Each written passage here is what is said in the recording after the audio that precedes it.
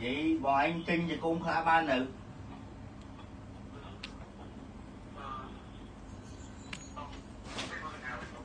Ờ mấy ngoại tên một không nữa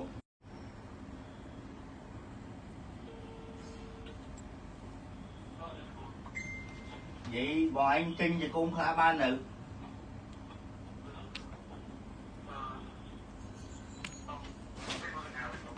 Ờ mấy ngoại tên một không nữa